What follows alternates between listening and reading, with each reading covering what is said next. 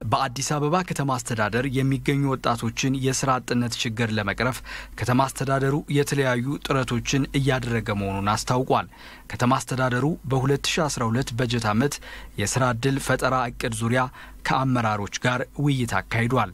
የአስተዳደሩ የማህበራዊ ክላስተር ዘርፍ ምክትል ከንቲባና የአዲስ አበባ ከተማ አስተዳደር ንግድና ኢንዱስትሪ ቢሮ ኃላፊ ኢንጂነር እንዳወቅ አብቴ አስተዳደሩ ከፍተኛ ቁጥር ያለው የስራ ዕድል ለመፍጠር እቅድ ተይዟል ብለዋል። በርካታ ስራዎች በሁሉም መስኮች መፍጠር የምንችልበት እምቅ አቅም አለን። እምቅ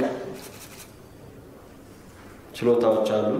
ስለዚህ እነኝን አስተባብረን የጋራ እቅድ ላይ ተወያይተንና ተነጋግረን በመግባባት በንቅናቄ መልክ ወደ ስራ በመግባት አገሪቷ ያስቀመጠችው የስራ ዕድል ፈጠራ እንዲሁም ከተማ አስተዳደሩ ያስቀመጠውን ከ250 ሺህ በላይ የስራ ዕድል ፈጠራ በ2012 ዓመት ለማሳካት ዛሬ ንቅናቄ የምንፈጥርበት መድረክ ነው ማለት ነው።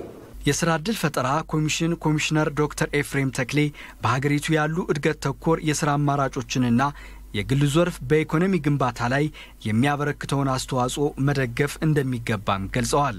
12 በመቶ ብቻ የሚሆነው 12 እስከ 13 በመቶ ብቻ የሚሆነው ነው በደሞዝ ተቀጥሮ ስራ የሚሰራው። አንድ ሀገር ማደግ በማደግ ሂደት ውስጥ በተለይ ወደ መካከለኛ ገቢ መሸጋገር በሚደረገው ሂደት ውስጥ ትልቅ ውጤት የሚያመጣው የቅጥር ስራ ነው። በደሞዝ ሰው ሲቀጠር ደሞዙን ማሻሻል፣ ማስተካከል እና ከወጪ ጋር ማመጣጠን ስለሚቻል ጥሩ የሆነ መካከለኛ ገቢ ያለው ማህበረሰብ ለመፍጠር የደሞዝ ቅጥር ነው እየሰፋ መሄድ ያለበት። ይሄን ለማድረግ ደግሞ ያው ስራውን የሚፈጥሩ ብዙ ሰዎች በግልጽ እንደሚያስፈልጉ ይታወቃል። ከተሞች ላይ ይሄ የአዲስ አበባንም የተወሰነ አካል ይገልጻል። በራስ ስራ መተዳደር ከፍተኛ ቁጥር ይይዛል፣ ግን የማይከፈልበት ስራ ከተሞች ውስጥ ዝቅ እያለ ይሄዳል። የመንግስት ስራ እጅግ ከፍተኛ መጠን ይይዛል። ምክንያቱም አብዛኞቹ የመንግስት ተቋማት በከተሞች ውስጥ ስለሆነ ያሉት ማለት ነው። ሌሎቹም ደግሞ እንደዚሁ በግሉ ዘርፍ እንደዚሁ የሚቀጠረው ቁጥር ከፍተኛ ነው ማለት ነው። ይሄ በጠቅላላ ሲያሳይ ምክትል ከንቲባ ኢንጂነር ታከለ ኡማ በበኩላቸው አስተዳደሩ በዘላቂነት በከተማዋ የሚፈጠሩ የስራ እድሎችን ውጤታማ ለማድረግ እንሰራለን ብለዋል። ሰው አንዱ የዘንድሮ እቅዳችን existing micro enterprise ላይ ለውጥ ማምጣት አንዱ ምን ማለት ነው?